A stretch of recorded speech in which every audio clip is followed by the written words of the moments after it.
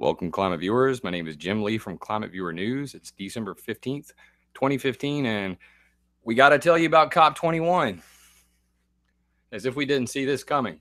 So I'm over here on Ken Caldeira's geoengineering group, and you can see here at the top COP21 final text. And apparently, they have given the green light for carbon sequestration, but no green light for SRM. So that's a good thing solar radiation management, stratospheric aerosol injection, stratospheric aerosol geoengineering um, has been put on the back burner. So if they can't reduce their emissions and carbon sequestration or pulling carbon dioxide out of the air and pumping it into the ground or into the ocean, if those don't work, SRM will be a reality. That's a good thing. So everybody applaud uh, the scientific community for pulling their heads out of their rears and realizing that SRM is, in, is indeed dangerous and is not necessary at this point. However, um, does the Paris Agreement open the door to geoengineering? And they say right here, um, the uh, 1.5 degree goal almost certainly would require geoengineering, such as injecting aerosols into the stratosphere or solar mirrors. Optimistically, he says the goal is achievable, but only with immediate rigorous emissions reductions combined with new technologies to remove CO2 from the atmosphere.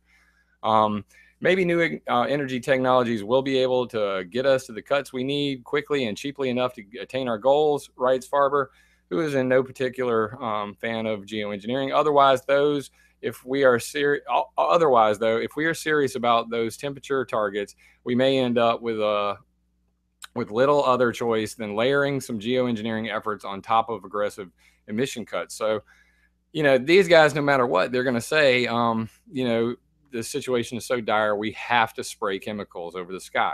Um, sucking CO2 out, not good enough. Um, this just blows my mind, of course, but is uh, completely understandable from their perspective because of the control that they would get with such schemes. So, um, schemes like planting trees, even the CO2 um, reduction through sucking it out of the atmosphere, not as dangerous as SRM. We do not want SRM no matter what. Here's another paper. Can we achieve Paris climate goals without unproven technology? Unproven technology being geoengineering. If you look up here at the top, the actual old title, which apparently they've changed it, is geoengineering necessary to meet Paris COP21 climate temperature goals? Mm. Apparently they think it is. But what they're not talking about is common sense should come before geoengineering, like a tree, like plant some trees. That's a great idea. Um, you know, Lorax, very happy with the trees.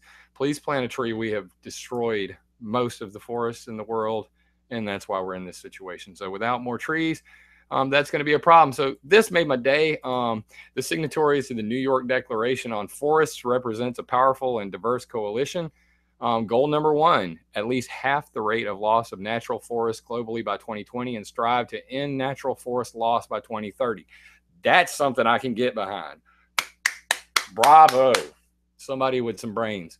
Um, so what does this mean? I mean, what's what's the big deal about this uh, you know, sucking CO2 out of the atmosphere? What are they talking about here? Parties should take action to conserve and enhance as appropriate sinks and reservoirs of greenhouse gases removal by sinks um, and removals by sinks of greenhouse gases here. These are um, Greg Rau uh, is basically summing this up for the geoengineers over on Ken Caldeira's forum. forum. And um, I find this fascinating because it turns out that Greg Rau and Ken Caldeira have a patent for sucking CO2 out of the atmosphere. Sounds like they're going to make some money. Bravo, Ken. Bravo, Greg. Um, so th- you know, at the end of the day, these guys, for all their doomsaying and everything, they've got you know their their wallets are already padded.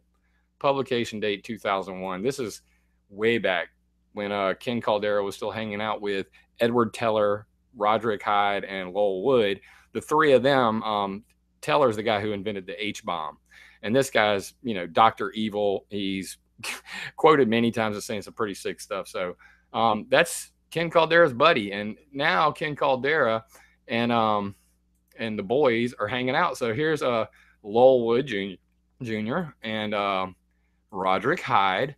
Edward Teller's dead, so he can't be a part of this. But the two of them, plus Ken Caldeira and the world's most famous patent troll, plus John Latham and Stephen Salter from the um, Silver Lining Project, they got together and said, you know what? Let's make some geoengineering patents. And here you go.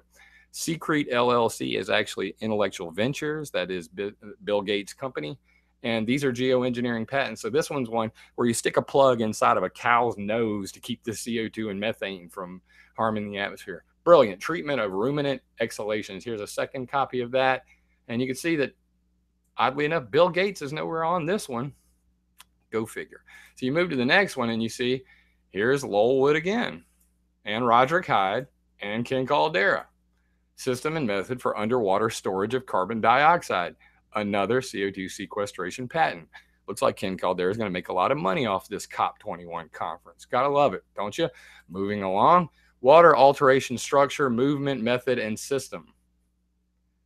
William Gates III, Ken Caldeira, Roderick Hyde, Lowell Wood, Stephen Salter, John Latham, and Nathan Myhrvold, the patent troll. This one is about altering hurricanes. Now, what the crap are they doing? What are geoengineers like Ken Caldeira, um, you know, and Bill Gates, William Gates, one Microsoft way. There you go. Bill Gates and them getting together to steer hurricanes. You think I'm making this stuff up, but this is all about that money. If you don't believe me, check out this version of their patent application for the same patent, and you'll see Bill Gates, Ken Caldeira, Lowell Wood, John Latham, Nathan Myhrvold, and what does it do? Operate storm suppression equipment. Alert at least one inter- interested party as to potential damage from a storm. Provide information to at least one interested party of the cost and likelihood of reducing damage from at least one interested party. Receive at least one payment from at least one interested party. Receive a request from the interested party to provide storm protection. Payments, storm protection. So this isn't about, you know, saving the world or protecting, you know, people because it got good in their heart. No, these assholes are trying to take money from an oil company in the Gulf and say, you know what, your oil factories are going to be hit by a hurricane. We can protect you. Now, I says to Ken Caldeira, whenever you steer that hurricane away from the oil field and it hits downtown New Orleans, the poor people are going to die. Now, God didn't kill those people. You killed those people. Hurricane modification, hurricane steering should be a no fly zone. But apparently, these guys Bill Gates, Ken Caldeira, and company have no problem taking money from people who want to be protected from storms. Do any of you think you have enough money to buy Bill Gates' storm protection scheme here? I don't think so. Making it even weirder, system for facilitating cloud formation and cloud precipitation using laser beams. Ken Caldeira, Roderick Hyde, Lowell Wood, Nathan Myhrvold, the patent troll. And this one is assigned to LY LLC, also an intellectual ventures company, um, which is Bill Gates and Nathan Myhrvold's patent trolling apparatus. So these guys now have a laser beam cloud making patent as well. Interesting stuff. So at the end of the day, these sick guys, it's all about the money. Um, it isn't about saving us from CO2. You see it in their patents. Um, it, it's pretty clear to me and anybody else who follows this stuff, especially when you come over here. Hurricane hacking, the Department of Homeland Security enters the weather modification business. And it took me a while to figure this stuff out, but here's the here's the rub. So they did all the patent applications January 3rd. Um, they probably got really drunk over at Bill's house and sat around the table and came up with all these patents, I guess, because Nathan Myhrvold and his patent trolls were sitting there taking notes. Said, "Yeah, this is great. Let's make some patents up." And then um, shortly thereafter, January 30th, here's another one. Um, these are the water alteration structure ones where you see that they're altering hurricanes. Oddly enough, February, same year, Department of Homeland Security Hurricane Modification Workshop. And that's the article you're looking at right now. And um, they got together and they said, let's come up with ways that we could, you know, modify hurricanes. Um, April, same year, Weather Modification Association Conference, new unconventional concepts and legal ramifications. Um, atmospheric heating as a research tool, that's HAARP. that's ionospheric heaters, that's Bernard Eastlund, um, posthumously uh, giving his uh, speech through another guy because uh, he died before he got there. But anyway, this guy's talking about steering hurricanes and tornadoes with microwaves from space. Reduction of hur- reducing hurricane intensity using upwelling pumps. And William Cotton on engineering hurricanes. These um, three, you know, presentations were given at the Weather Modification Conference same year, followed by another patent application. That's the heat transfer conduit. Then finally, you know, they got their patent for their water alteration structure thing. And you can see that it was assigned to the Invention Science Fund One LLC, which is also Intellectual Ventures, um, Ken Caldeira and Company, and then followed by that July U.S. City Senate Committee on Commerce, Science and Transportation hearing, Weathering the Storm, the need for a national hurricane initiative. So they took all their patents. They said, hey, man, we can protect us from another Katrina um, if we go and steer these hurricanes. And I guess it didn't float because the same year um, as that, uh, NOAA says no to Department of Homeland Security hurricane modification. There was a letter written by NOAA stating um, that you know storm fury and all the experiments they've done in the past um, that it wasn't a good idea and they probably should knock it off. But apparently, um, Bill Gates and company got their uh, funding for that sort of thing because the Hurricane Aerosol Microphysics Program (HAMP) went on in 2010, followed by the NASA Genesis and Rapid Intensification Program (GRIP). So HAMP and GRIP followed by all of their patent trolling and going to Congress to try to steer hurricanes. These guys are all about it. They want to make some money, guys. And you can see now the Department of Homeland Security is now steering your hurricanes. Um, real quick, what are they talking about doing? Limited scale field tests, salt seeding tests, carbon black aerosol, aka chemtrails, aka carbon black dust, aka carbon black aerosol, upper ocean cooling, which is the pumps, that's uh, Stephen Salter's Salter Sink. The ion generators. What? Nobody talks about ionization anymore. Um, other just seeding, and then monolayer films was like putting oil on the surface of the ocean to keep water from coming out of it. But anyway, this stuff's crazy. And then they got their budget here, and then it goes on to talk about all the different schemes that they have, like dumping carbon black soot dust into hurricanes. Guys, this COP21 stuff is just opening the door for more of the same on a bigger scale globally. And, uh, you know, Ken Caldeira and the boys, the guys who are pro- um, promoting all this crap, they got their patents waiting to make a whole lot of money off of it. Um, please say no to these geoengineering schemes. CO2 sec- sequestration, I don't really have an opinion on it. You want to suck CO2 out of the air, put it in the ground as long as the ground doesn't blow up. and you'll have to look into that to see what I'm talking about. But putting a lot of pressure on the ground could be interesting.